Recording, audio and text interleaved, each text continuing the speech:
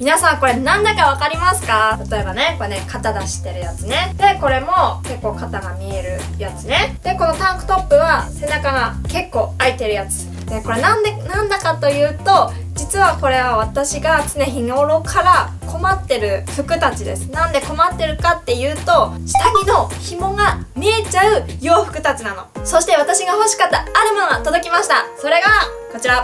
じゃんブラパリっていうシリコンブラのものです。でこれがあれば紐がない下着なのでこういう大胆な服でも着れるっていうことで今日はこれを着て自分が今までほとんど着てなかった服たちを着ていきたいと思います。中を開けるとこのようにブラパリは入っててであとはこれはブラッパリを入れる巾着袋になってます。そして説明書が入ってました。でこのブラッパリは片方ずつ取れるようになっていて片方ずつ取り付けてから最後真ん中のホックで留めるっていうやり方になってます。それじゃあつけてみます。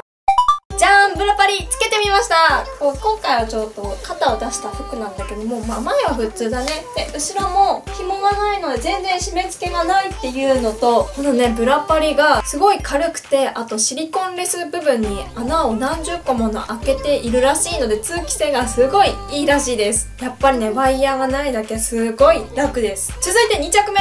もう普段結構面積が狭いやつだったから着れなかった時後ろもほらこうやって全然恥ずかしがらずに着ることができます。私これ実際12回ぐらいしか着たことがなかったものだったのですっごい嬉しい。横から見ても全然見えない感じです。続いて3着目はキャミソールを着てみました。キャミソールでこうカーディガンを羽織る感じですね。ニットね。